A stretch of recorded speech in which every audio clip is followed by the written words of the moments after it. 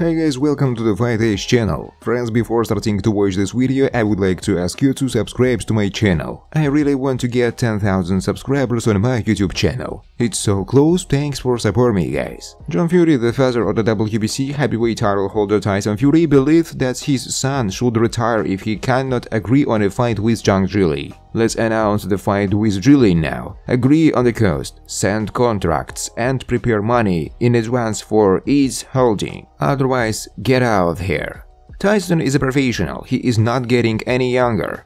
They can't waste another year. As for me, there is only one fight for Tyson with Zhang Zhilei. I think Zhilei is a more difficult opponent. He proved it in a fight against Joe Joyce. He is a 2-meter left-handed who can hit. If Tyson Fury doesn't get this fight, then he needs to hang up his gloves, Fury said. Bob Arums, the promoter of the WBC heavyweight champion Tyson Fury, admitted that he doesn't know where and when the British boxer will return to the ring. I have no idea what Tyson Fury is going to do. I don't know if Fury himself understands what he will do. If I were him, I would try to get in the ring before the end of the year. But I am not him. Fury is an amazing talent. He knows better than all of us what he wants. He will act according to his instructions. In other words, it's ridiculous for a promoter to call the names of rivals and dates. It depends on Tyson Fury and where and when he wants to fight, Arum said. Bob Arums, a promoter of the WBC heavyweight title holder Tyson Fury, said that his words will not fight with the Chinese Zhang Zhilei, as he is upgraded to give a rematch to Joe Joyce. I think Joe Joyce has a rematch clause that he activated, so Fury's fight with Zhilei will not take place because the Chinese fighter is upgraded to have a rematch with Joe Joyce. I'm not a promoter of any of them, but I assume that it will be so. I will not interfere with people who have contracts. Am I going to say, hey, Tyson Fury is going to fight with you?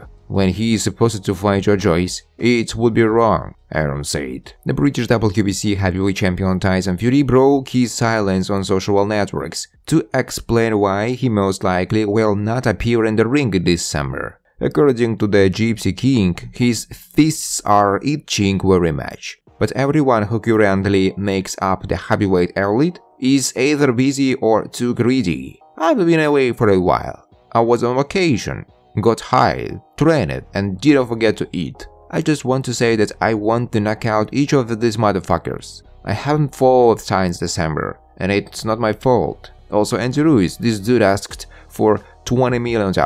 Stupid little shit.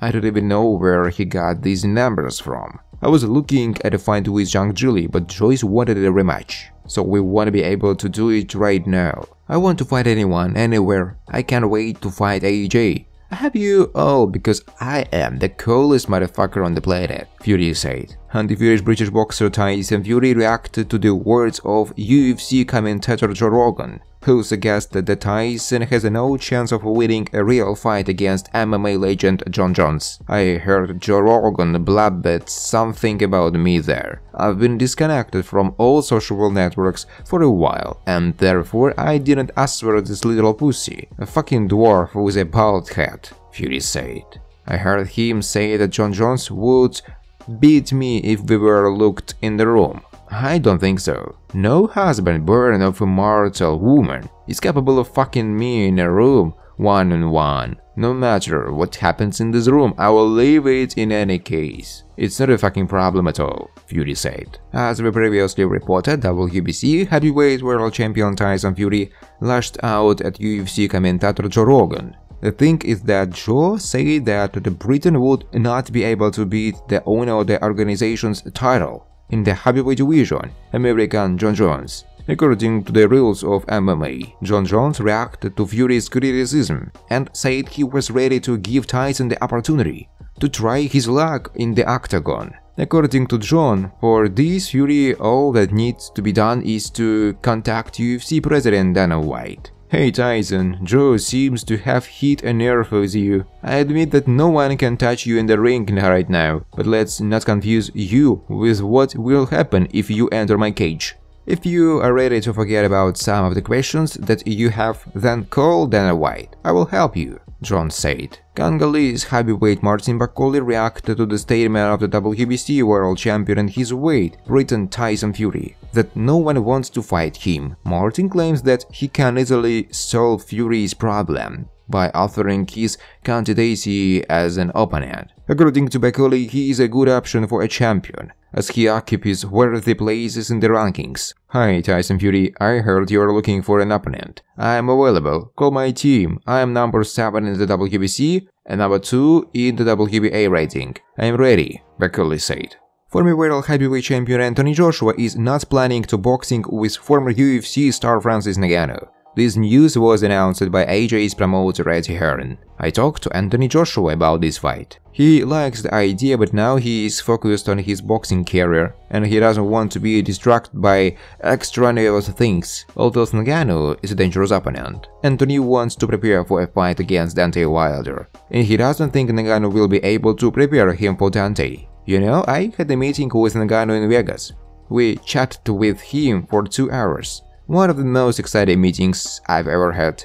His story is incredible. I just asked question after question about his life and how he ended up where he is now. I don't think anyone can say something like that. His story is incredible.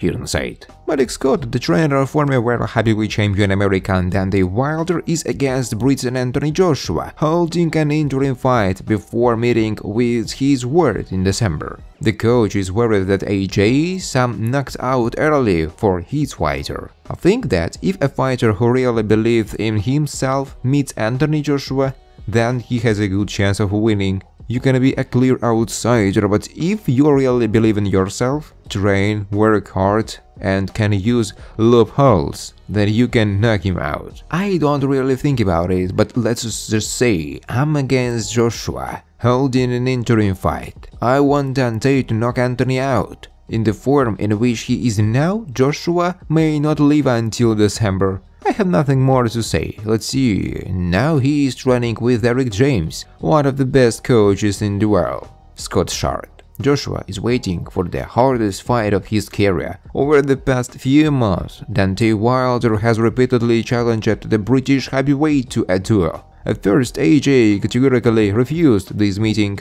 The career of the ex-world champion in three versions can only be revived by another loud duel. If there is some confidence in Wilder's form, then Anthony's condition looks extremely doubtful. The Briton held his last fight at home in London on April 1st against Jermaine Franklin. Joshua looked better than his opponent, but managed to defeat the little-known American only by decision. To be sure, it was necessary to win ahead of Shadow. However, due to previous failures, the Briton does not impose such a high pace as before. His previous plan was to knock out his opponent as quickly as possible. Joshua's counterpart got lost under pressure and only by one fell into a knockout. Having lost his former confidence, Anthony is now thinking about how not to miss the kick himself. Thanks for watching guys, if you like this video please subscribe to my YouTube channel.